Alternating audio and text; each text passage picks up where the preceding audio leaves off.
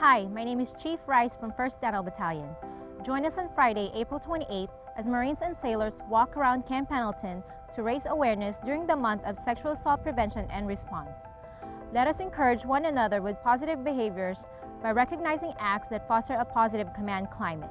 Remember, protecting our people protects our mission. We hope to see you at Camp Pendleton Paige Fieldhouse Football Field on April 28th at 9 a.m.